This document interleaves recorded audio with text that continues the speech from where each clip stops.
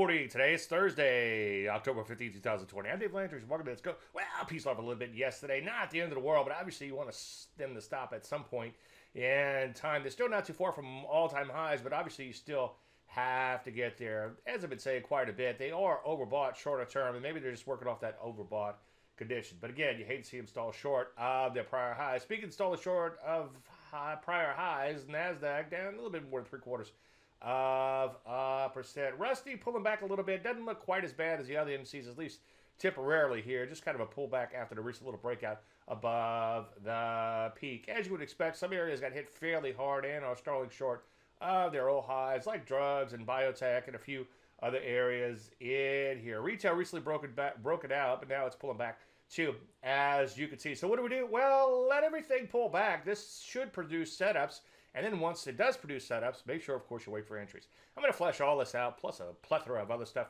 later tonight in the chart show. I hope to see you there. Any questions? Dave, DaveLandry.com, or bring them to the show. I'm Dave Landry, and you start to market minute.